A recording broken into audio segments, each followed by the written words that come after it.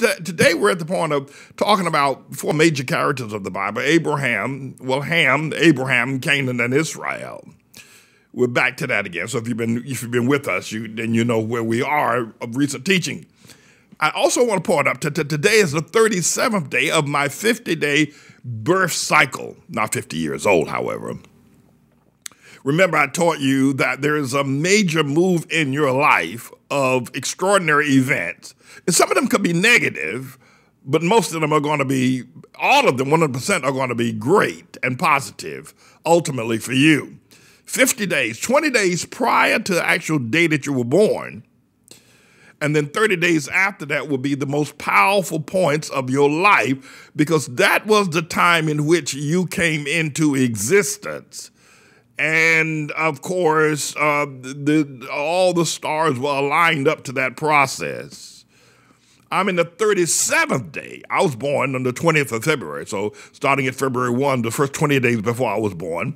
Now we're today is March the 9th, and so I am, you know, 37 days. I got 13 more days to go of absolute power.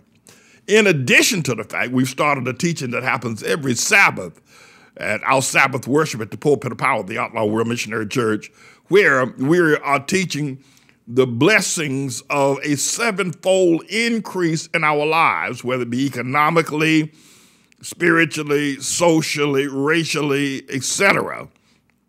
That would be a sevenfold, and also brain use, intellectual wisdom a sevenfold increase in our lives by observing the Sabbath the seventh day on, upon which God rested.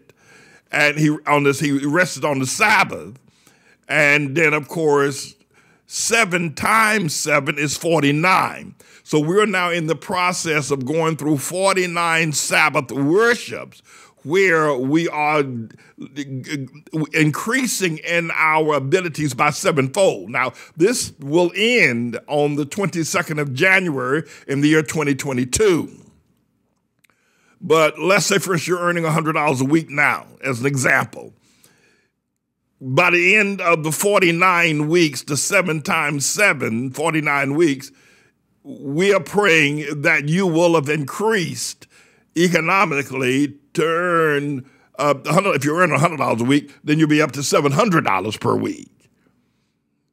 If you are earning $700 per week, then you'll be up to $4,900 per week or $300 per week, you would be up to $2,100 per week, a sevenfold increase. Now, that's economically, but also in terms of your spirituality, your wisdom, your understanding, and other aspects of your life, including uh, the use of your brain cells to be to avoid Alzheimer's and all kind of other degenerative diseases because people aren't growing. So we're very challenged here at the ATLAH Ministry and every Sabbath, I'll be making mention of that at the pulpit of power every Sabbath at 10 a.m. on Saturday mornings. Now, today I want to be able to give a partial release. I asked God, his name is Jesus, if he would allow me to uh, explain the mysteries about Egypt that Moses did not tell us about such as who built the pyramids, how they were constructed, and several other things about the the advent of medicine and government and mechanized armies that was so prevalent, and Egypt being one of the world's greatest societies, if not the world's greatest society and the world's first great society. But Moses didn't tell us about that, so I've asked God for the opportunity to release that information. And I pray at the end of 49, seven, 49 weeks or seven times seven, that knowledge will be released. But today I'm going to release just a partial amount of it. This is not terribly taught completely, you know, revelation, but it will be something that will be stimulation regarding the release of information about the pyramids and about the life and times of Ham uh, in Egypt uh, that Moses did not tell us. But let's get started, first of all, with um, these four men Ham, Abraham, Canaan, and Israel. Quite frankly, and, and if you look at it in a holistic, you know, microcosm view of the Bible, Ham, Abraham, and Canaan and Israel, they own the Bible, including the prophets and Jesus. It is through the loins of Abraham that Jesus came. Uh, so, quite frankly, when you look at Ham, Canaan, and, and, uh, and, Abraham, they own the Bible. It, it, it, that can be better said, I suppose, of the three sons of Noah that repopulated the earth after the great flood. That Ham, that Noah had three sons, Shem, Ham, and uh, Japheth. And Shem is the father of the Semite people, of the Shemite people who are known today as the Jews, or biblically as the Hebrews.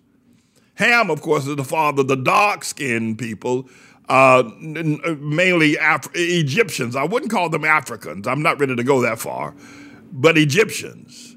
And then, uh, then uh, Japheth is the father of the, uh, the, what we refer to as white people, or in in, in a modern day vernacular, uh, Caucasian people.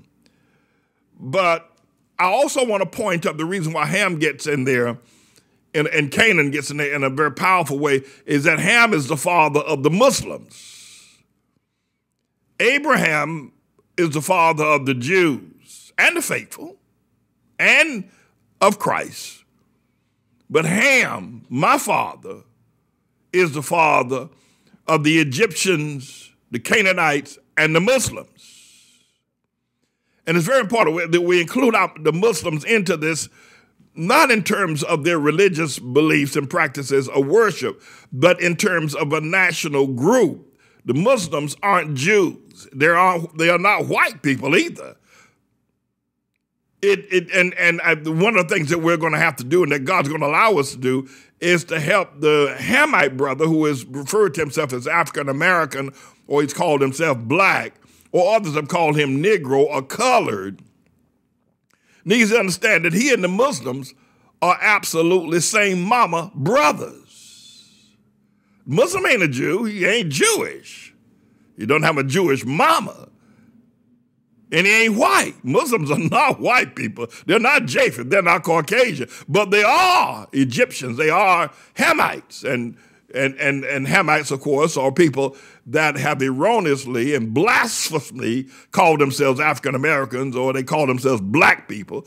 Others have called them Negroes or colored, but they're really Hamites. And we're going to uh, focus on that. Moses, of course, who was Egyptian born, Moses was born in Egypt. And uh, he wrote the Bible and everybody else who has appeared in the Bible, including all the prophets, appear upon the foundation of what Moses wrote in the Bible. But he was born Egyptian. The first 40 years, Moses did not spend the first 40 years of his life in Passover, a Jewish understanding. Moses spent the first 40 years of his life as a Hamite. Uh, run tell that. Yeah. And Hamites well, they refer to themselves black people. They're not. It's a misnomer, something that, and they, or they call themselves African Americans. They're, they're not that either. But Moses spent his first 40 years as a Hamite. Now, Bible makes that clear. Ain't no denying that. You can even tell the Jews that. Moses didn't spend his first 40 years as a Jew. No, he did not. Mm -mm. No, sir. Read Bob. Spent the first 40 years his life in the next 80 years of his life as a renegade from both being a Jew and a Hamite. We'll get to that a little bit later on. Canaan, however, on the other hand, who was the son of Ham, uh, was Egyptian born. That's right. In that regard, well, he was born in the Middle East, I suppose, uh, the, the, land that we would now call Canaan land. He was born in the land that later became his land but he owned Canaan. Now, the man who was prophesied in Genesis chapter 9, verse 25 through 27, that he would be a slave to both the Jew and to the to the uh, to the Gentile or to the Japheth, to the white uh, Caucasian man, it was prophesied he would be a slave. There ain't no doubt about it. But he owned the land that God declared was flowing with milk and honey. Canaan land is what it was called. But God called it the land flowing with milk and honey. So Canaan, who was later going to become a slave, now in the biblical tradition and biblical history that cannot be refuted, owned the land that God said was a land flowing with milk and honey. Abraham, on the other hand, was a Persian guy. He finally ended up in Persia, way across, you know, from Canaan land and from Egypt, way across the, the Arabian desert, down below Iraq and in Kuwait, in that general area today, in the area of the Persian Gulf, in the area of Persia, but it was known Babylon, called Babylon, or at the time, but when Abraham was there, it was called Ur of the Chaldees. It's really biblical, and then it later gets a name called Babylon, but it's the same place. Abraham was Persian born. He was born over there, and well, he lived over there with his grandfather Haran and his father Terah. And uh, God told him to leave Ur of the Chaldees, which is in Babylon on the Persian Gulf, which is hundreds of miles away from Egypt and going west and Canaan land. And he did. And he settled in Canaan land. Now, another Ham was the first civilization of the Bible. That's right. Ham, my father, my father has the first mechanized, recognized civilization of the Bible. And my brother Canaan is number two. Now, there are other quasi Hittites, Moabites, Amorites, Jebusites, Girgashites, you know, Assyrians later throughout the Bible as civilizations, but they don't get no real credit. Assyria gets a little credit. The Syrians, they get a little credit as biblical but really, when you look and you do a, a close up look at the Bible, the first five books, Egypt is the dominating, Egypt is the dominating civilization right up until the time of Jesus. E listen, even Jesus went down to Egypt. Moses went down, right? Well, Moses was in born in Egypt, but Abraham went down into Egypt. Joseph went down into Egypt. Many of the prophets went down into Egypt. Even Jesus, Joseph and Mary, his mother, took him down into Egypt. Egypt is the most dominating civilization the entire Bible. Now, if you want to say, well, what's the more blessed one? Then you got to look at Israel because, you know, it gets all the goodies in terms of the blessings, the promises, the law, the word, and it, Israel is blessed, ain't no doubt about that.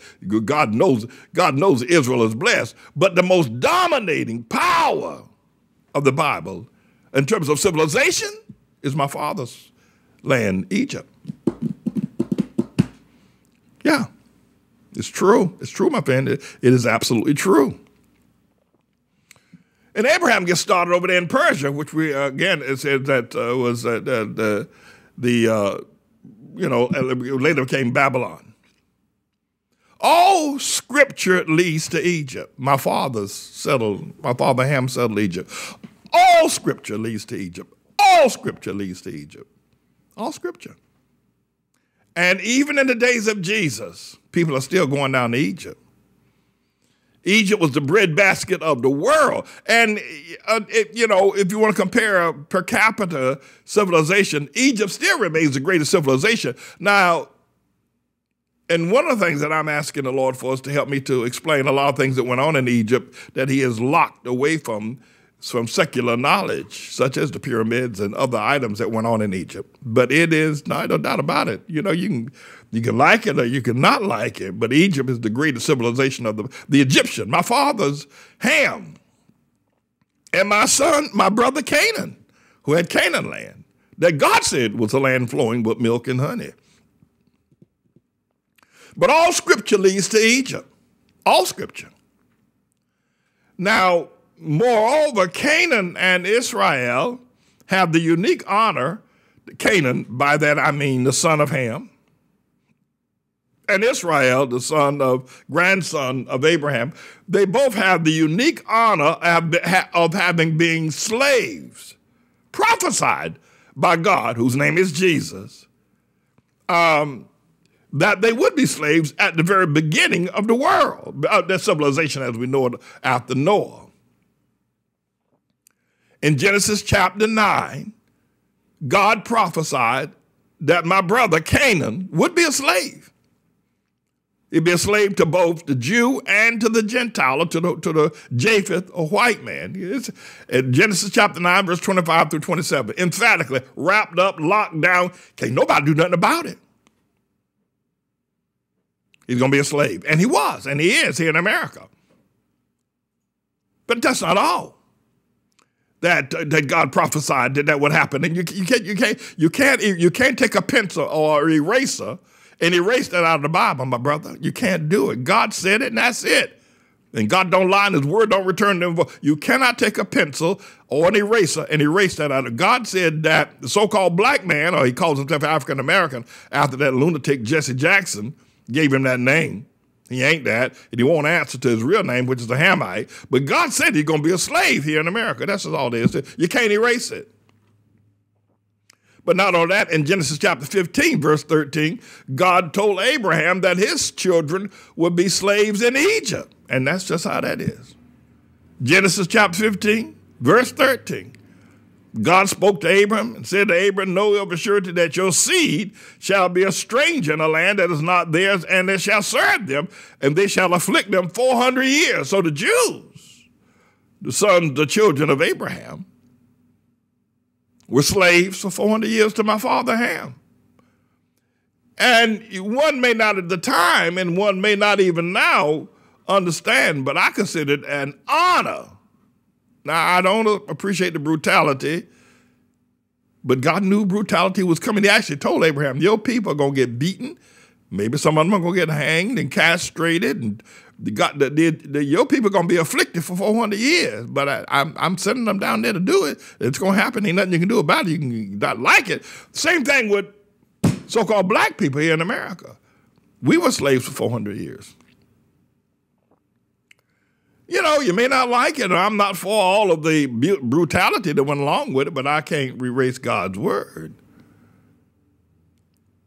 But that's the power. When you look at the Bible, the Egyptian, I mean, Ham and Shem, they really own the Bible. They own the foundation of how it got started. And they were, and they were honored, both of them, to be slaves. Now, Japheth was never a slave to anybody, but he owns a Christian church. I can tell you that. It's a place where Muslims don't go to Christian churches, Jews don't go to Christian churches, and Hamites, I'm not sure exactly whether they should go there either. But white people, Jew, Jewish, Japheth people, they own the Christian church. Look over that Rome over there, over yonder in Italy. Italy, Italy over there, Lord have mercy. Over there in Italy, they own the Christian church. Um, Hamites have their time. Of, the Jews own the Jewish synagogue and the temple. So where's the Hamites joint? It's called ATLAH. I'll get to that a little bit later on. You're not ready to hear that. You start jumping up and down and having conniptions if I tell you that the Hamite people, that theirs is distinct as well, but you're not ready to hear that. Not yet, I know that. But I can, what I can tell you is that the Hamites were the last slaves, and they were owned by Japheth and Shem, who now possess the last holy land, which is ATLAH. I'll get to that. I'll get to that. You're not ready to hear that yet. But both the Shemite and the Japheth owned the Hamites as slaves in what is the last holy land. The last holy land of the Bible is ATLAH. That's what God said. The land where the people shall walk barefoot because the land is holy ground. Now, you're not ready to hear that, but it's okay. We're not going to fall out. Is that right? You're not going to stop listening. You're not going to get an attitude. You know, you, you're still going to go back to your Sunday church and go, you know, whatever it is you're going to do. But you listen to me because you, you, you don't want to be ignorant and crazy all your life. You pray to God you can somehow or another be recognized as doing the will of God rather than just joining some organization because the pastor got a private jet and holds his worship service in the Coliseum with a bunch of other freaks. You, you, you're still interested in the truth. You know, I'm praying uh, that at the end of the 49 Sabbaths that I will be able to give my last, the, the last of mysterious uh, mysteries of the planet, of planet Earth. Let me tell you about that, and then I'm going to take a break. I'm praying that by the end of the 49 Sabbaths, which is another segment, I'm in my 37th day of blessings, right? My 37th day of blessings. Around centered around my birthday, which happened on February the 20th. 20 days prior to you your birthday, you start experiencing blessings and power and uniqueness. And many times, adverse things come also, whether you realize not, you the best and greatest blessings you have happen first as an adverse event. Now, let me explain that to you. It's one thing somebody comes around drops a ton of gold in your lap, say, oh, here's a ton of gold, you can go sell it for, you know, I don't know, four or five million dollars, whatever it is, or four or five zillion dollars, a billion dollars. That's good. That's good. Praise God. Praise God. Praise God. Praise God. That's a blessing, I guess. But your best blessing comes through a negative situation when something absolutely bone chilling negative comes into your life, like a diagnosis of cancer or some other grievous the opposition that comes into your life. When some other negative negative beyond negative gets dropped into your life and then God brings you out. That's better than having somebody dropping a ton of gold. You see what I'm saying? So even in the period of your 50 day birth cycle and you get a negative situation, it's going to be a blessing. That's why I came in that time. It's going to be, it's going to turn out to be a blessing. But the problem, you got to go through the negative one to get to the blessing. That's how God works. Don't tell me why. Ask me why. You don't like the way He works. but if you if, if you ever had a problem and God solved it for you, you you'll understand why. So I'm in my 37th day, but we're also in a period now of our fifth week of the 49 Sabbaths. And I believe at the end of the 49 Sabbaths, God's going to give me the opportunity to be able to um, to explain the last mysteries of planet Earth. This is a bit of a news blog we do looking at spiritual wickedness in high places for the most part, making uh, some observations about it and giving people a biblical foundation to the way of interpreting rather than have uh, uh, Sean Hannity or Laura Ingraham or Jeanine Pirro or Anderson Cooper or Rachel Maddow or Don Lemon uh, Rush Limbaugh interpret what's going on in the world. You come to me and I'll tell you based on what the Word of God says. They'll just give you their worldly, sinful view. But the Manning Report will tell you what God has said, whether to say yea or nay, whether to go or to stay. You'll be led by the word of Almighty God. Come to the Manning Report on a daily basis to interpret the spiritual wickedness in high places because there's plenty of it that's going on. And so I am he. I'm the Lord's servant, James David Righteous Rebel Manning. And I'm here to serve you with news and information.